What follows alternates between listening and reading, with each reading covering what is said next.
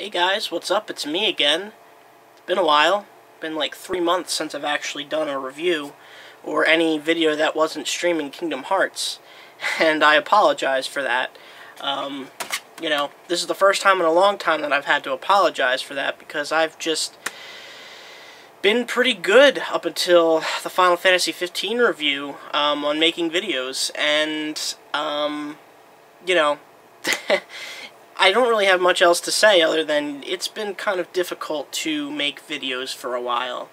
Um, just because of things going on in life. And hopefully I can try and start to get back on track with that and try to really start making videos again. But, um, you know, I can't really reveal too much because it's just, it's personal things that have been going on in my life. Um, but to give you guys basic idea, it's just been tough between um, school and my two jobs and other other you know other things going on in my life.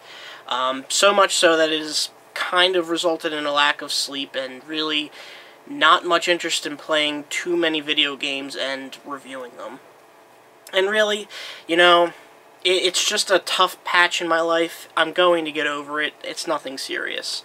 Um, so, I mean, if anyone actually worries about that, thank you, but it's all good. It's just a result of things that have been happening in my life recently. And really, right after the Final Fantasy 15 review, I wanted to get on reviewing another game, and that game today is Wolfenstein 2 The New Colossus.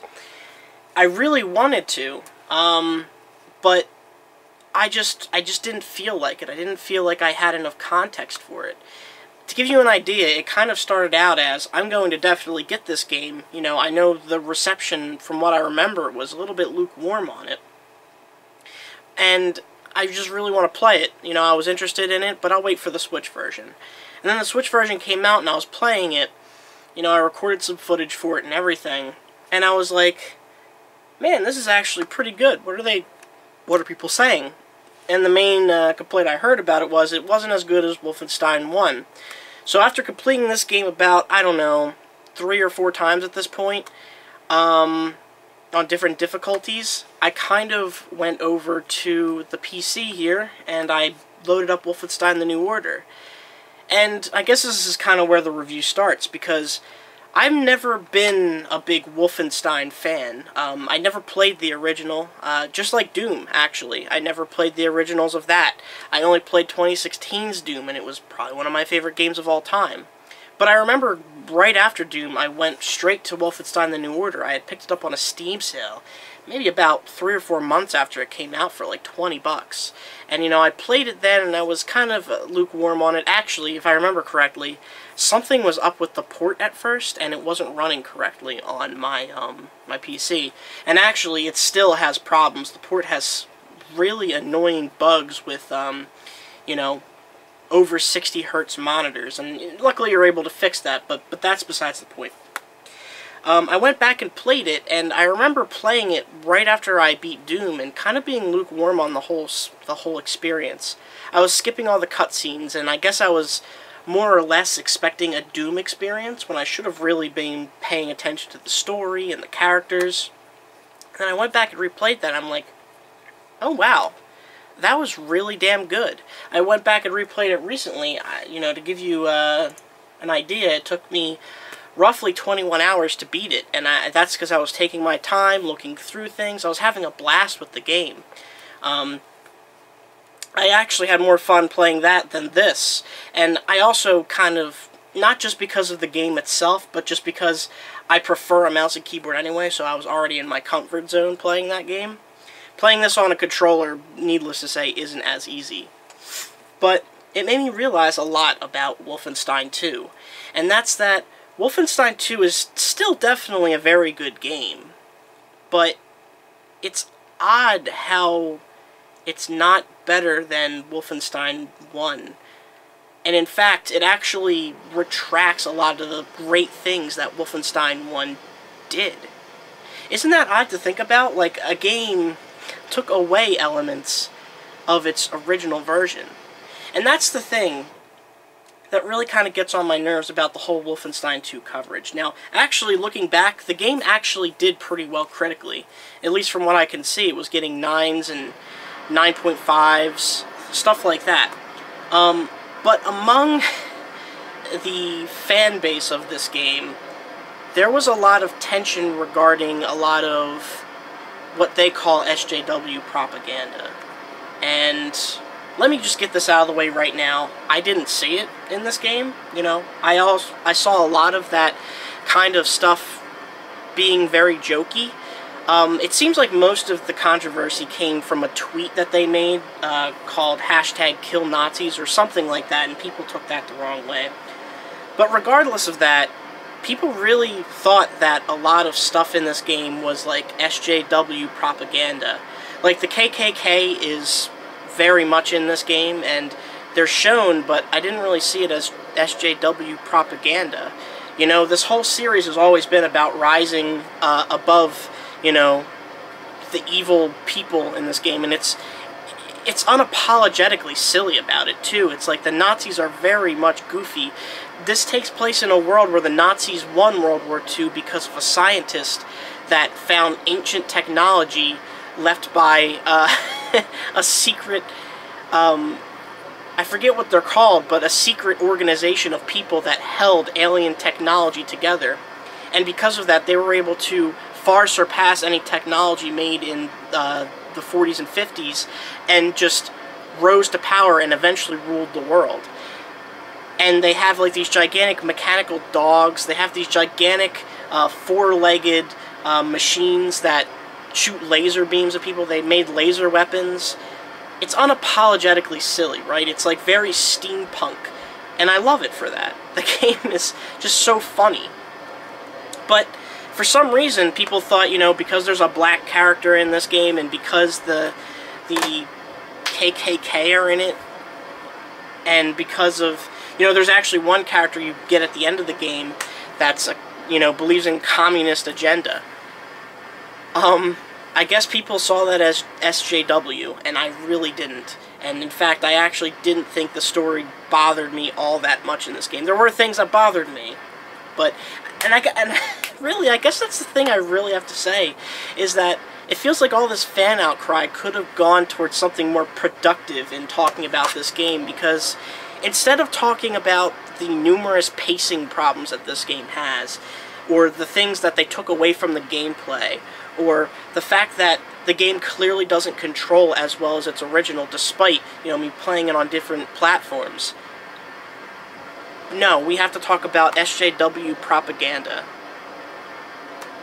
Can't really, you know, accept that as a, a good reason because I just feel like there were more productive ways to critique this game.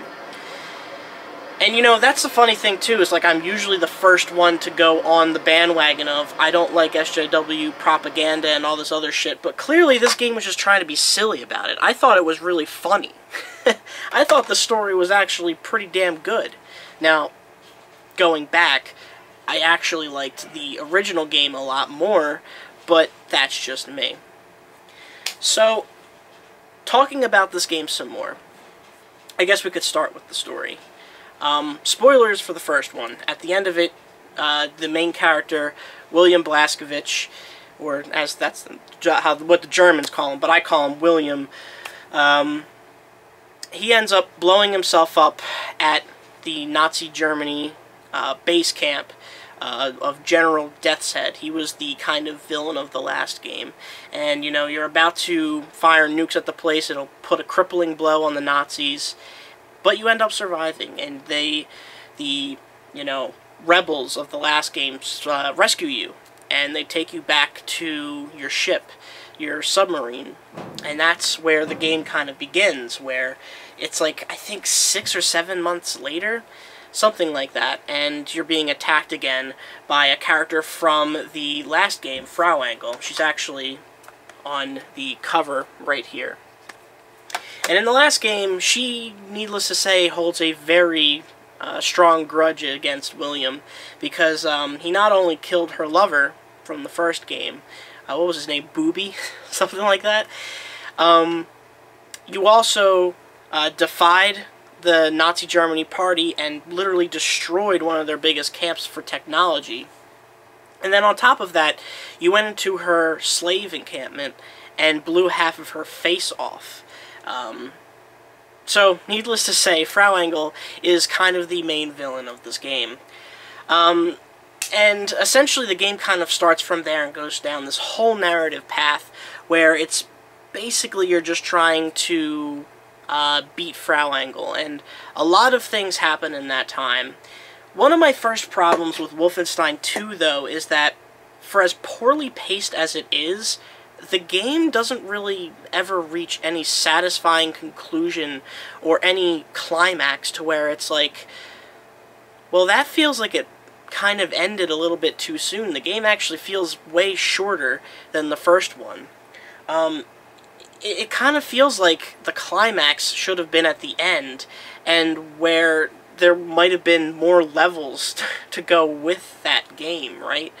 It felt like there was supposed to be more after that, but no, it just ends, surprisingly, and it's very bizarre how that all comes about.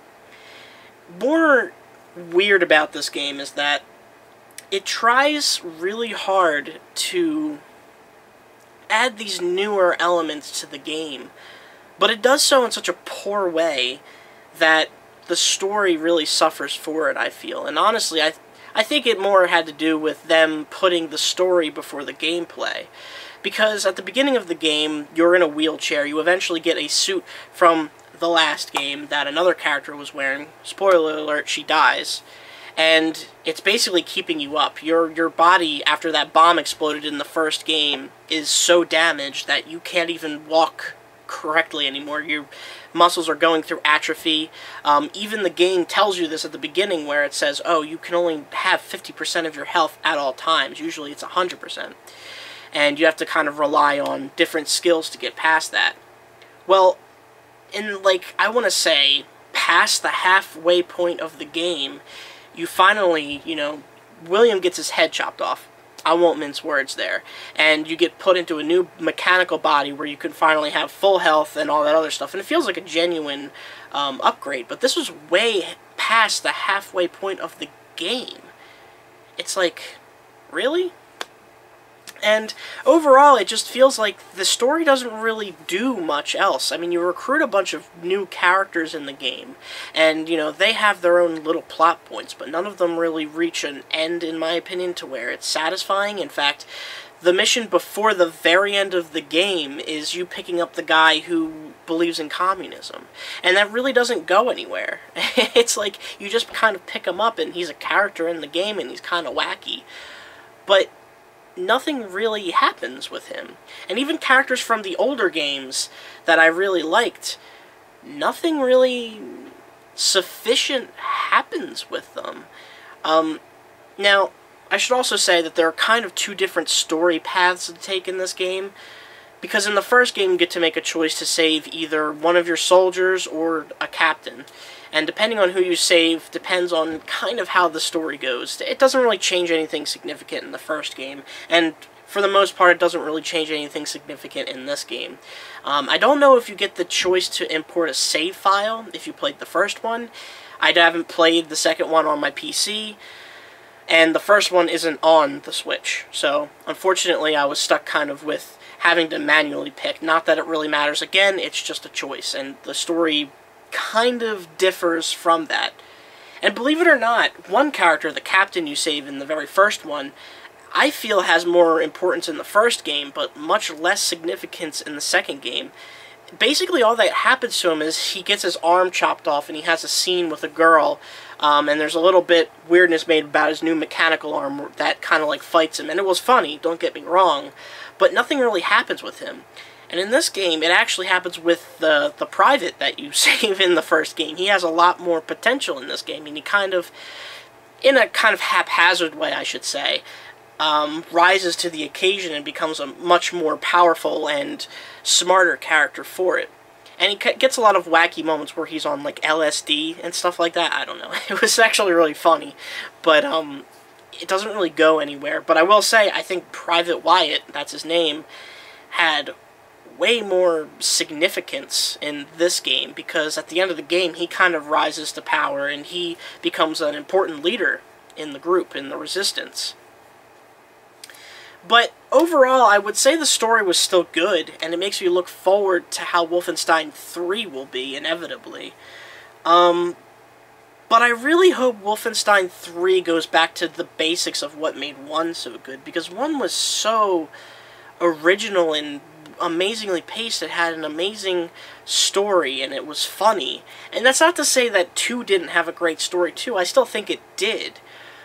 But, for starters, there were a couple of scenes in this game where it kind of felt like it kind of felt like they were copying the first game. Like in the first game you actually go to the moon and there's really not that much done with it in the first game. But you also go to Jupiter in, I think it was Jupiter, or was it Mars? It might have been Mars. It was probably Mars. You go to Mars in the second game, and it was basically just a copy and paste level design of the moon landing in the first game. So it kind of just felt odd to me how they just brought that back. It was still a cool level, don't get me wrong, but it, it, it kind of just it was odd in how it was put in there and it was just kind of it, it kind of felt like it was just thrown together um what else was there? Uh, there was the fact that just if they were going to pull parts from the first game, I wish they did more with it. Um, this game was, it felt more like you were just exploring America, and it was cool. Um, you get to go to Area 51 in the game, and you get to go to, to um, uh, what was, you get to go to New York, which is irradiated because that's where the bombs dropped there.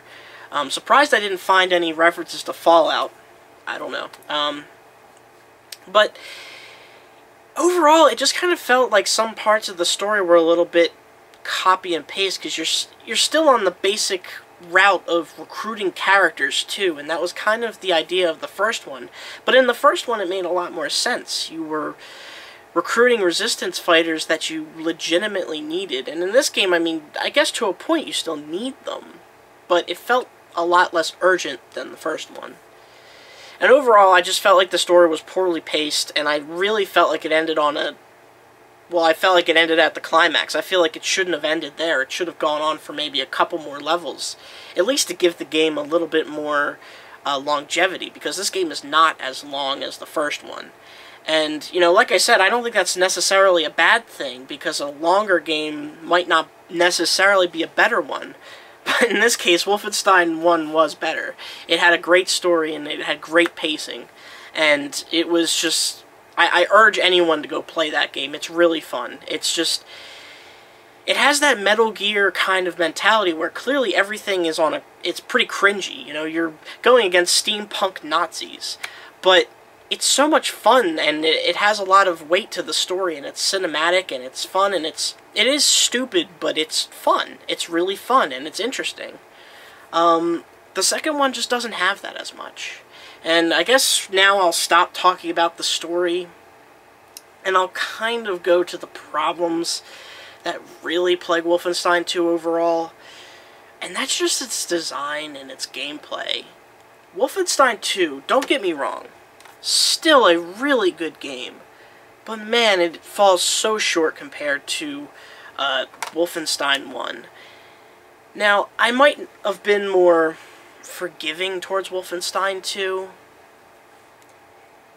If Dishonored, if it was like Dishonored and Dishonored 2, where they were very much the same game, but Dishonored 2 feels at least in my opinion, like a different game just because they polished up the problems with that one. They added a couple new powers, not many, but it was still a lot more than, you know, what I was expecting, I guess. And the level design was completely changed. They added new things to the game. It was basically just felt like Dishonored, but better. It felt way more interesting to play. And because of that, Wolfenstein 2 falls flat because not only does it really not add anything to the game, but it takes things away. For instance, one thing that really bugs me about this game, the combat in the first one felt like there was a lot of weight to it. Um, whenever you got hit, your camera would move. You couldn't physically feel that you were taking damage. In this game, it doesn't feel that way. Before I knew it, all my health was gone to a single enemy. And this wasn't a problem of me playing on different difficulties. I started on normal, I went to hard and very hard, and then I think I played it on very hard again, but I don't remember. That was on all difficulties. That was a problem that obviously got worse as difficulties went on because I would just die so easily because damage was ramped up. But in this game, it just doesn't, the combat doesn't feel like it has any weight. When I'm shooting guns, it doesn't feel like it has any weight. And granted, the first game had a similar problem. You know, there were a lot of bullet spongy enemies in the first one. But in this game, it feels so much worse. And it got so bad to the point where I had to start developing strategies to not stick my head out too much and to find the cheapest weapons in the game. There's one weapon in the game for the shotgun, and if you shoot it, um, it ricochets bullets everywhere and it does a shit ton of damage, especially to heavy enemies. And of course, you know, I would have to switch off to different uh, weapons just because I would run out of ammo, but that felt like the, the superior strategy in this game. And it and I think that's like one of the biggest problems this game has. It's just that when you take damage, you don't flinch as much, you don't feel it as much, and it just feels like your health goes down for no reason. There's no indicator to tell you, hey, you're taking damage, you should back up. There's nothing that really felt like the camera had any weight to it. It felt like the camera felt a little bit too quick. And sure, William would move really fast, but it felt like the level design was kind of at odds with that too. And that's the other thing, too, is that for all of the improvements I think were made in Wolfenstein 2 in um, level design, I feel like it was a good three or four steps back. Um, I can't say anything else to Wolfenstein 1's effect that it had other than incredible set pieces because there were some amazing levels in Wolfenstein 1. Um, you know, going from the very first level in the game where you're infiltrating Castle uh, Deathshead, I guess that was what it was called, or unless it was called Castle Wolfenstein, to the bridge scene, I want to say towards the middle of the game, to the part where you're, um, I think it was in Berlin, where you're swinging from a rope, and there's suddenly this part where you're on an airship, and then you swing from a rope down into another building on ground level where you're trying to save your friends. Or the moon landing scene from that too was also incredible. The second game just doesn't have that kind of effect. It, a lot of the, the set pieces and level design feel very basic compared to Wolfenstein 1. And this is again only something I saw going back to Wolfenstein 1. Wolfenstein 2 has interesting set piece areas, I guess. You know, there's that part where you're going through the uh, the tunnel system and you're on that train to go to um, Area uh, 51. And then you go to Area 51 and it looks exactly the same, it's just a cave system. And that's fine and everything, but the levels really, I felt like they didn't do anything with it. Um, there was even this part in uh, New York where you're in the transit system, again, another cave system, but you know, the one character says, "Oh, there are alligators down there. You should probably watch out for them." And I'm like, "That's interesting. Maybe there'll be something where I kind of have to look into the water to kind of find out what's going on there. Maybe I have to look for alligators. Maybe I have to tactically avoid them." And, and there, lo and behold, I really only remember one or two set pieces with the alligator that were incredibly, um, they were just incredibly on rails. There was really nothing. It felt like there was no reason to have them there other than like a little jump scare here and there. It was kind of stupid. Um, there was this one part where you go to, I think it was Alabama, maybe? It probably wasn't, but I don't really remember. But there's a swampy area where you go to, um, what is it called? New Orleans, that's what it was. And again, swampy area, much like a tunnel system in New York, much like the outset of New York, not that New York really looked all that different. It was kind of just, again, very apocalyptic city-ish.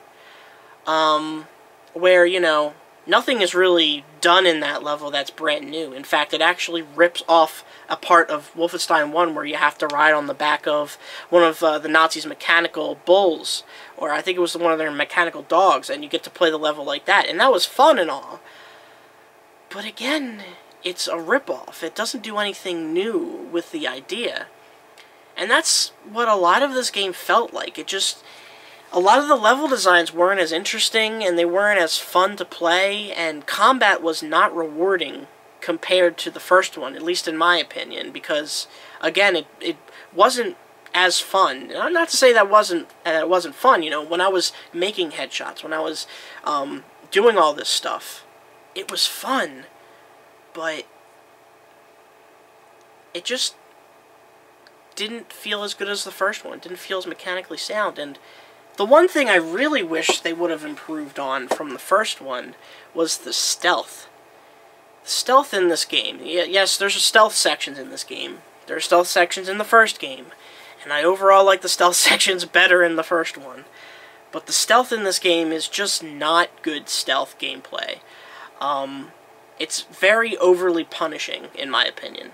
Now, granted, you know, there are some games that are like that. Deus Ex is actually one of those games. If you get caught in that game, you're getting pretty heavily punished. But at least in that game, I feel like I'm being told everything I need to know. At least in that game, I feel like there's a sufficient amount of time for me to recoup uh, for a mistake I might make or an enemy I might not spot.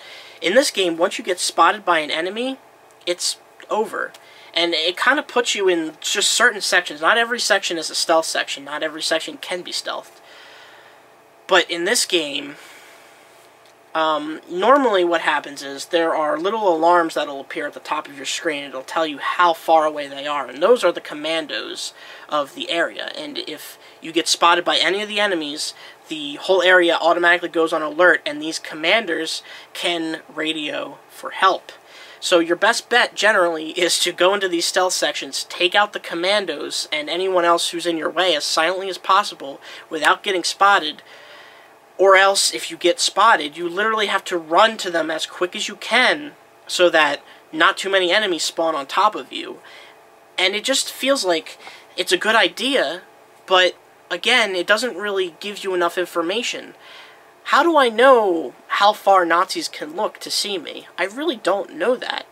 Um, it doesn't feel like the game controls well enough. I mean, to to give you that kind of um, power to just sneak around. Of course, later on, once you actually get the new body with William, um, you actually get to choose from three different um, options. You can either have these legs that extend you really high up in the air. Um, you can either have uh, something that lets you crawl through really thin air ducts. And I actually don't remember what the other one was. I hmm, because that's also because I don't think I ever chose it either. Um, I think it might have been an arm power-up, but I don't remember. Um, but that's the thing. It's like the stealth feels so shoehorned in in this game. There were only very specific moments where I used these sort of mechanics to get around, and it didn't feel like the levels were designed well enough to get around that well.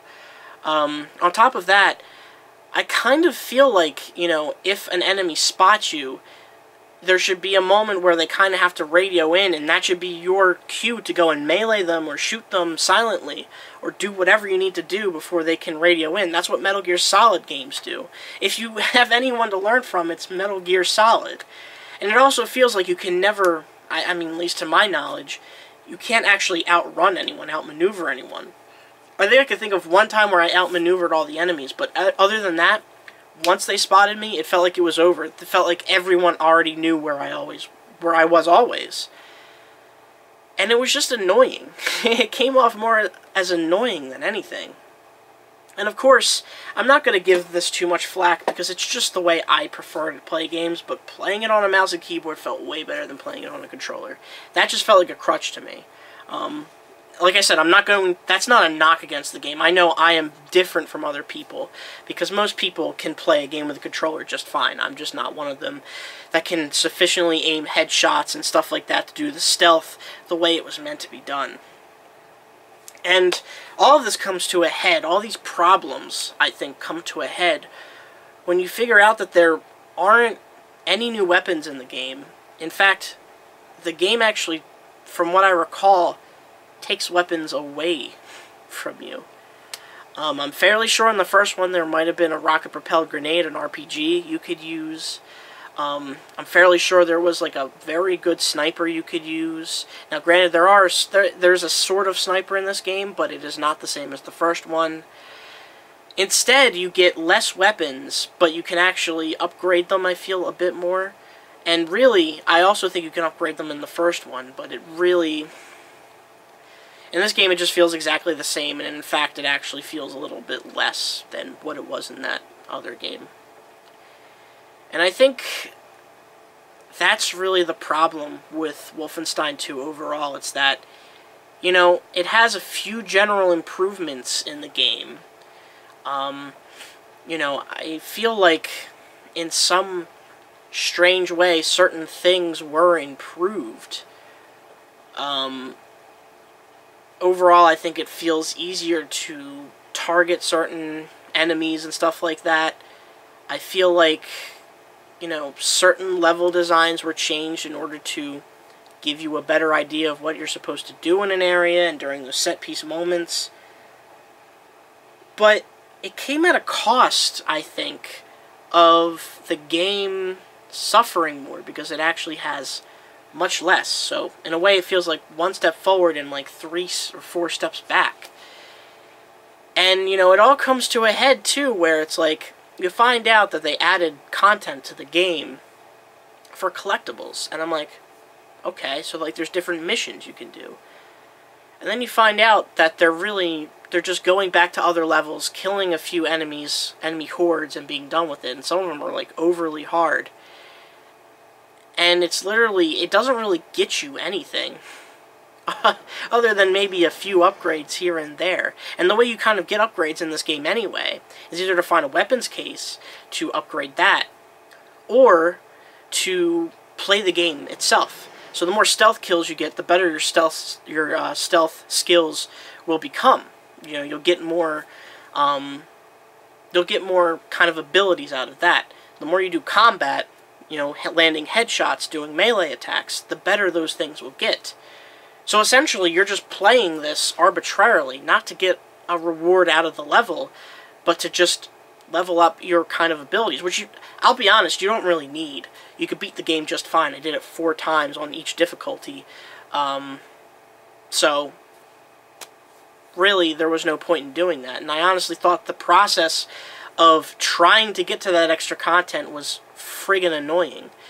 Because you had to take down um, commandos in the game and, you know, steal their, um, I think it was their keychains or something like that, their, you know, uh, what do they call them? Their medals. And you had to put it into a um, little mini game in the hub, the main hub of this game, and and then try to um, solve this really annoying, over convoluted, not over convoluted, but just annoying puzzle to get there. And then I had to do all that and then go into a level. There was just nothing I that struck me really fun about the whole thing, so I didn't really do it. Um, I actually just played the game. And then on top of that, too, the game tries to give you more incentives to go back to those areas uh, in the game by giving you side quests. The problem is you never know what to do in these side quests. You know, I'm not going to complain about the fact that it doesn't give you any, like, markers to where you need to go. But, like, having some kind of idea of what I need and where I need to go is, like... It's like there's parts of the game where you have to find maybe, just as just a random example, Toys for Max. Um, Max Hass in the game. And, I mean, you don't have to do it, granted, but you kind of want to do it. It's a side quest, and you never know what kind of reward you might get for that. And, you know, sometimes those rewards are found in the main hub of the game. You just got to explore well enough. That's fine. Whatever. Because the main uh, hub isn't, like, huge or anything like that. But it's like the stuff that makes you go to the levels again, and you have absolutely no idea where to find this stuff. It's obnoxious. And it's like, what if something did tell me we had to go to New York? What part of New York? Because each level is kind of split, right? There's one part where you go to New York and you go into the subway station, that's one level. Then you go out to the outskirts of New York, that's another level. You go up to the top of a building in New York, that's a separate level in and of itself. So what part of New York do I need to go to? I have to explore all of them? That's a little bit annoying if that's true. It's just all these problems accumulate into a game that, by all intents and purposes, should have been better.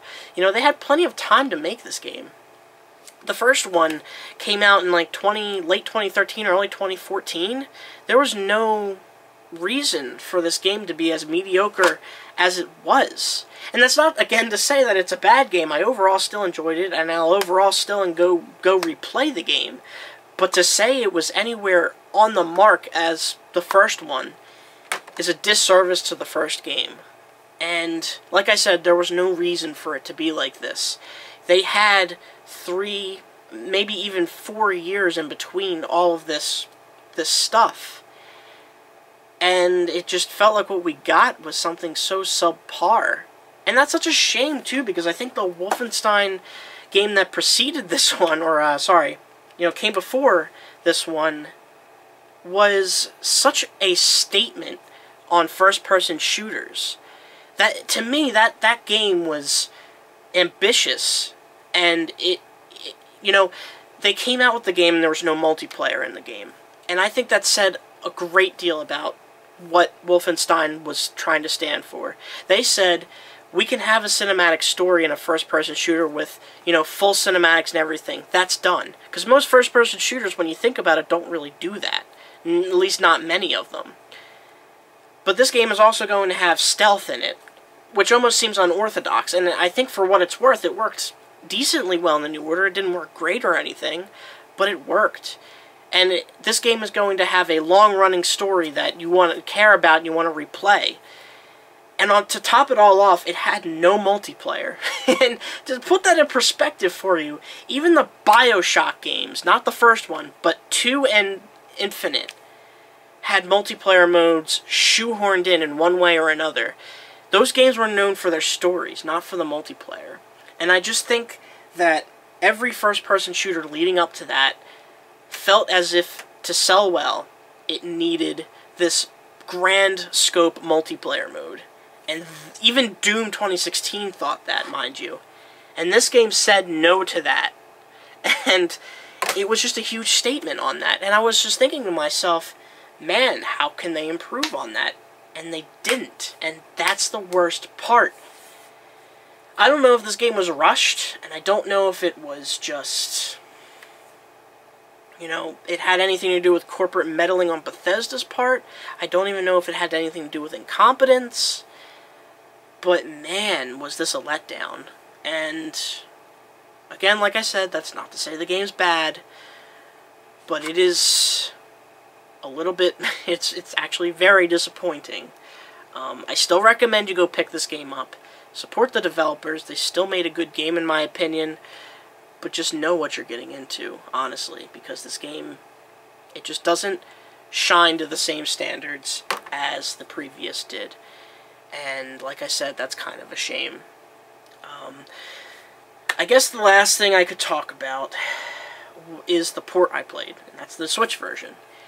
And I have to say that, thank God, a company like Panic Button exists because Panic Button have done such an amazing job on the Switch so far. Um, namely with Doom. Doom was a big surprise for me and how well it worked on the Switch and how much fun I still have with it. I want to put this in into perspective here. I played a couple matches here and there, maybe maybe a total of two and a half to three hours of the multiplayer in Doom. But everything preceding that was just straight up me playing through the campaign multiple times. And I think on my Switch it says I have over 45 hours in the game. So that should say something. Um, uh, that's just how good that port was. And this is also no exception. Um, the only thing I really noticed was that there's a lot of low resolution stuff going on here. Um, in fact, there's a specific part of the game actually where you meet Hitler. And that, again, going back to the SJW stuff, I don't see it. I think that was hilarious. But um, there's this part where you have to read off of a script and you can't see it because the textures are so low and the resolution just doesn't hold a candle to what the HD versions can do. Um, granted, that is a minor overall snag in my opinion compared to the other versions because this game still looks incredible. It's running on lower than lowest settings. Uh, it runs on, and especially in portable mode, it runs at like 360p most of the time, from at least from what I gather.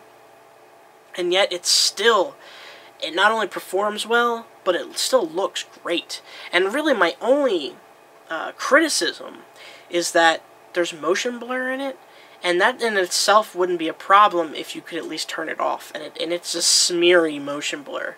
I assume it's to hide some of the other optimizations they made to the game, but it was still a little bit annoying. And uh, one actually improvement they made, and this is from a patch they just released for the game, was that you could actually use motion controls for the game. You could, you know, and, and that's actually a very good idea. The problem with it is, and Doom exact, had the same exact problem. I don't know if they patched that out. But there was this really annoying problem where you couldn't just snap back to the center or anything, so what you'd end up doing is the camera would just go all over the place and you can't really control it that well. Um, they fixed that with a patch. I don't know how how well it works. I personally don't prefer to use motion controllers if I if I can't. Um, the auto aim was very sticky in this game, which I also preferred because I just don't like using a controller. Um, but you could turn it off if you want, so that's there. And overall, it was actually a very decent port, I thought. So, Panic Button is also going to be doing the port of Doom Eternal, and I can't... That is the one game in a long time that I'm actually very excited to play.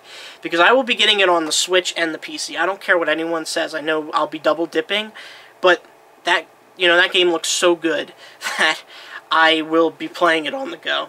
Guarantee you. And I will be playing it on my amazing 165 hertz monitor at max settings. Guarantee you. And I have a lot of faith in Panic Button that they'll deliver because they are just that good at porting games. I will also be playing Warframe when that comes to the Switch, uh, if I don't need that stupid online subscription service to play it, that is. Um, as you can hear, my voice is very, very uh, hoarse right now, just because I'm not used to talking for this long and talking about a game like this.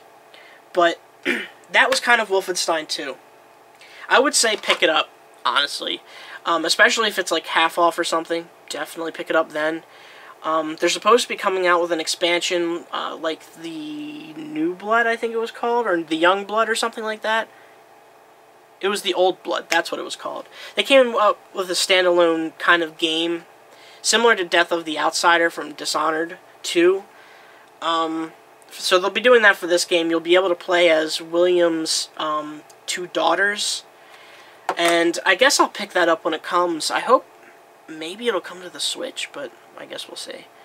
Um, but I really hope that that game, you know, lives up more to what this game provided. Because I think moving forward, whatever happened there, this team needs to figure out what they want to do with this. Um, they've already confirmed that Wolfenstein 3 is happening. But I really hope they take the time to improve on what this game kind of set, and I hope it actually, in many ways, exceeds the first game, even. Um, especially if that's maybe the conclusion of the story. Um, but I guess we'll see. I wouldn't mind having more than three Wolfenstein games. This is actually a very fun game, believe it or not. You know, I have some frustrations with it, but it is overall, I think, a very fun game. And I think especially if you're a fan of the first one, you at least owe it to yourself to buy this one and kind of experience more of the story, get that next taste of the game. Just know what you're getting into, right? I mean, you'll be able to form your own opinions on it. Um, and obviously, my opinions will not always be the same as yours. You know, Ace Attorney Spirit of Justice exists, and a lot of people love that game. But, uh, yeah. So that was Wolfenstein 2.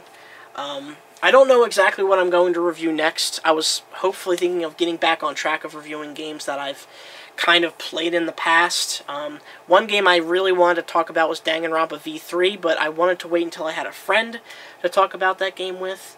Uh, but who knows? I still don't know how I want to do that review.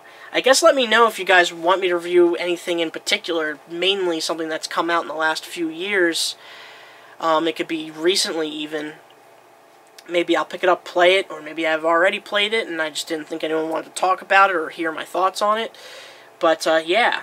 And, of course, uh, I am streaming Kingdom Hearts with my friend Frank, uh, if you guys know him from LP Bros when I was back in that.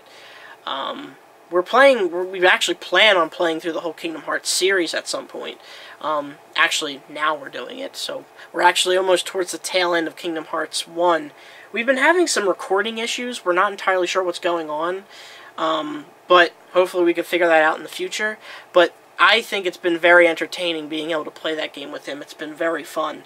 And uh, I hope you guys will hopefully join us for that. We try to do it every Saturday at around like 4 or 5 o'clock. And we stream for maybe about 2 or 3 hours. And uh, in, this, in this case, our last session was like 4 hours, but that's besides the point. Seriously, come and join us, and I'd love to talk with you guys streaming, because that streaming is so much easier to set up and get going than talk about this, have to make a thumbnail, you know, edit it together, make sure it renders. It takes a lot less time to just set up a live stream. So guys, sorry for the hiatus. I hope everything has been good with you guys. Things have been getting better for me at the very least. Um, if I don't know if anyone can even tell, uh, probably not because I just always look like this, but I've actually lost uh, like 13 pounds and um, just because I've been working out, but recently it's just because I've been so stressed out and not eating. It's getting better, like I said, don't have to worry about that. But I've been trying to lose weight. My goal right now is to try to lose a total of 20 to 30 pounds. Um, right now I'm just going for the straight goal of 20. But that, anyway, I've been rambling on long enough. Thank you guys for watching. Take it easy. Have a good one. And hopefully I can keep on track with this whole review thing again.